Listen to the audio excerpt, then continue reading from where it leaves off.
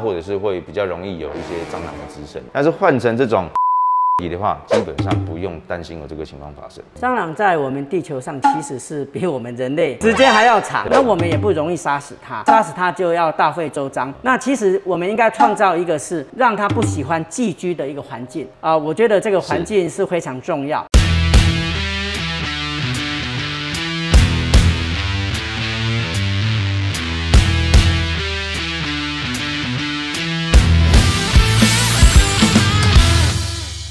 那我们来看一下 Canap 的亲子脚踏。那刚刚就讲到高度了，像我要拿取上面的物件，我会很辛苦，我会拿不到，尤其这个比较深。那我怎么办呢？第一个就是我要拿一个椅子来把它垫高，或者是拿个梯子来垫高。但是呢，另外一个方法就是说我底下有个亲子脚踏，那这个亲子脚踏我把它拉出来，拉出来之后我踩上去。那像我这种高度来拿东西，其实它是比较方便，然后呢也不会有任何的这个危险。各位会想说，像家里小朋友从这边经过，他在那边骑脚踏车不小心撞到我，人会不会跌倒？各位放心，这里有一个固定的方式，它是稳的，所以说你这样子踢它，你这样撞它，它是不会有任何哦，因为毕竟是站在上面的地方嘛。对对那要怎么解除？解除就很简单，就是两手抠一下，抠一下它就推进去。OK OK OK。那当然，它也是一个收纳的效果。那还有一个就是，我们乐色在厨房里面一般都是没地方放，那我们可以再设置一个乐色桶。这个也是推车型哎，。这个是推车，推车一个好处啦。我假如说我今天在这边洗碗，我可以推到我洗碗的地方，或者我在这个餐桌上面聊天，我上面一些一些垃圾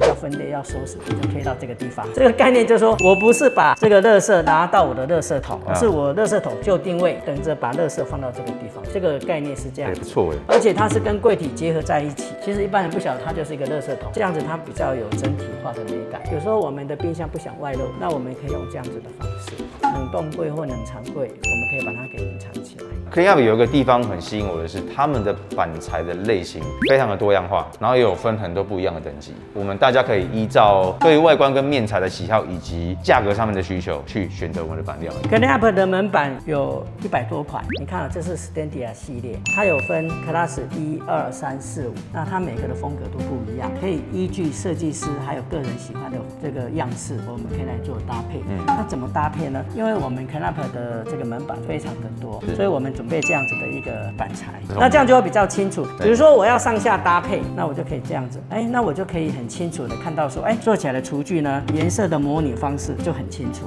那上下角说是不一样呢，那它的感觉是不是你所喜欢的感觉？或许有时候你会觉得说，哎，这样子上下两个颜色，我想还是单颜色比较好。那我们就这样子看看。对，一下来就好了。那这样子我们就比较清楚，哎，我家将要呈现的厨具的就是这个样样式会是怎么个一个方式？对，那他们等级不一样，主要是在它面材做工的细致度。哦，细致度不一样，还有它的纹路、它的调理，还有它的收边方式也不太一样。是因为其实它整体的功能性跟它柜体的特性，它所能够营造带来的价值其实是一样的。那再来就是面板，大家觉得它呈现出来的质感是不是自己喜欢的？也不见得说贵的就是最好看的，对然后也不见得说最便宜的就是最不好看。像我自己挑的，我不是因为价格考量的关系，对，我们要挑这一块是因为它就是它像板岩，它又有点像涂料的那种质感。那我就是喜欢这种东西，那我刚好挑到我最喜欢的就是这一块，但是它刚好就是就是 Class 五，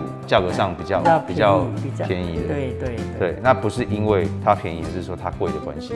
其实它的里面的厨具的功能都是一样，它板材每一个都非常好清洁，那也不容易受到这个光线的照射而产生褪色。这边这个系列又不一样了，对对？对对对，那这个是什么？可以帮大家介绍一下吗这个就是我们的 Central 系列。？Central OK。啊，那 Central 系列所营造的气氛又是不一样。那 Central 它最大的特色，也是我们很多业主非常喜欢的，就是我们这个不锈钢的这个门板。嗯，它这个像老虎的眼睛这很。帅。它随着我们的光影，它可以做不同的幻化的感觉，这是一般不锈钢所做不出来的工艺水准。当然，有时候看小小的框框会看不清楚，是我们都会准备大板材。是是是啊，那这一块呢，就是我们 Central 一系列的这块门板。光看这一个，你会觉得它整个是就是那种镀钛感，就是整面素面的镀钛啊。但是大板拿起来，它其实是有一些纹路的。那这个连后面这边也都是不锈钢，一体成型的不锈钢。在厨具界哈，不锈钢能够做到这种程度哈，我想只有这个产品。这个就是 Knapp 里面的 Central 厨具，它里面的是属于深色系，比较属于黑色系的质感，啊好看呢比较内敛的质感。那跟我们一般白色的它的质感代表的是不一样。它的水槽哈也有它比较特殊的做法，像这一个。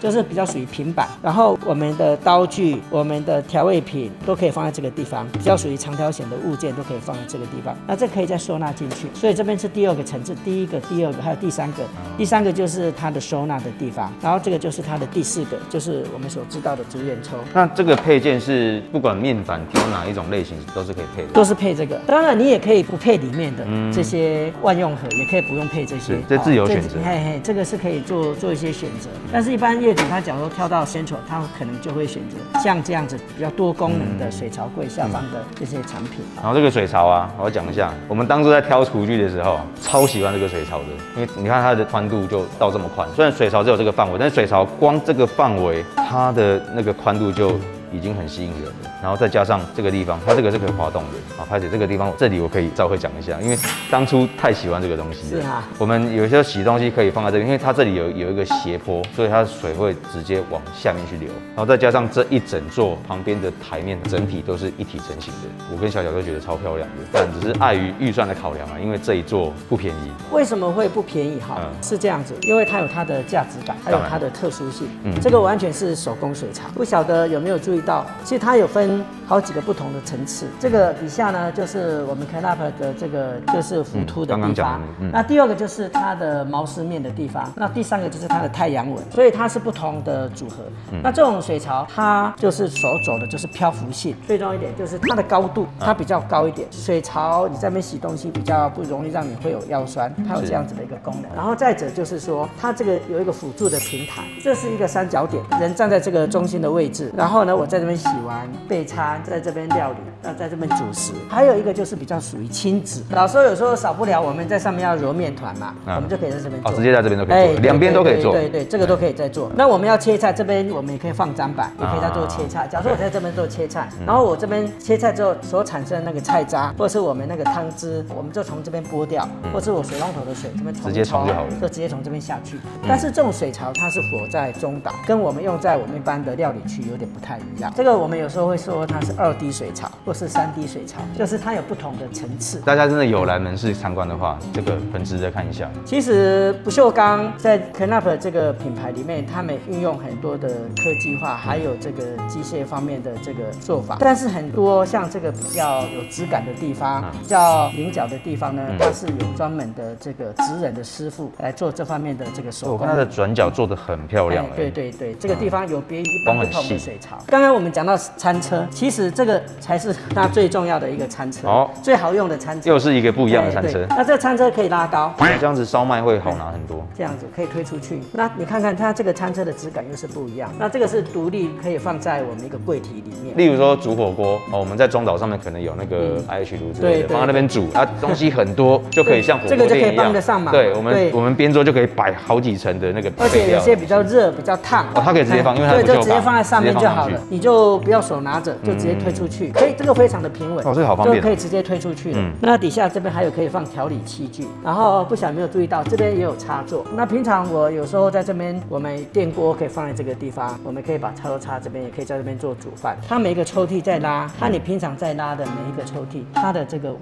定度还有它的轻巧度是不是有不一样？你可以试看看，这是它最大的一个功能啊。日本的那个瓦斯炉柜，它的做法有别于不一样的地方。瓦斯炉柜底下会多一个不锈钢板的平台，它这个是专门火它瓦斯炉专用。试着想看看，假如说我今天在煮东西，我汤汁不小心渗漏出来，那渗漏出来，它可能沿着这个瓦斯炉呢，或是我们的平台炉直接渗到底下。不锈钢它可以在这边做一个抵挡的作用。还有一个就是，当我们万一不小心瓦斯泄漏，它会集中在这个地方，不会继续的扩散出来。这一柜就是展示柜对，展示柜就是我们的收纳柜。那这个底下就是每一个都是有不锈钢底板的抽屉。抽屉底部做不锈钢，还真的蛮少见的。哦，这个在 Canap 里面这是可以算选配。那这个不锈钢底板，它也是属于那种烧结浮凸，它是比较让我们可以容易的清洁，它是有亲水性。好，那谢谢钟正哥今天这么用心的帮我们介绍。谢谢谢谢果然哈，我没有讲错。虽然说我们已经就是挑选过一轮厨具了，对但今天我还是听到很多原本我没有听到的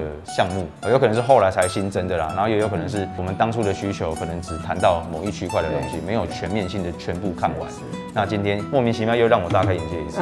可林 up 的东西真的，说一句老实话，因为我们自己是使用者啦，我是真的觉得蛮蛮值得的。如果说你们喜欢他们的特性跟一些外观的呈现的话，跟一些功能性的呈现，真的很值得来这边看看。那当然，厨具的选择有很多种的，哈、大家的喜好各自不一样。今天介绍这些也是推荐给大家，我觉得好用的东西。那大家真的有需要就来逛逛吧。刚中正哥跟我讲说，只要是看我们影片而来的朋友，那消费满额的话，中正哥你来讲一下你刚刚跟我说的赠品是什么？好哦，假如说是我们干单设计的粉丝所介绍过来，或是看我们影片过来的好朋友，那我都会送非常实用的这个水龙头。那水龙头不是一般的水龙头，它是可以伸缩、可以有花洒和只有不同功能的日本原装的水龙头。你说这个一般的售价是一万多块。我们一般的售价是在一万两千块左右。哎、这个真的是很有诚意耶，谢谢谢中正哥，谢谢谢谢谢谢，。帮大家谋取了这个福利啊、大家好好的把握一下，未来也有可能有其他的小礼品、小赠品可以选择啦。先以设定这个水龙头为主，水龙头，好，嗨那有可能还会有其他的品相的东西，那就到时候大家来到门市参观的时候，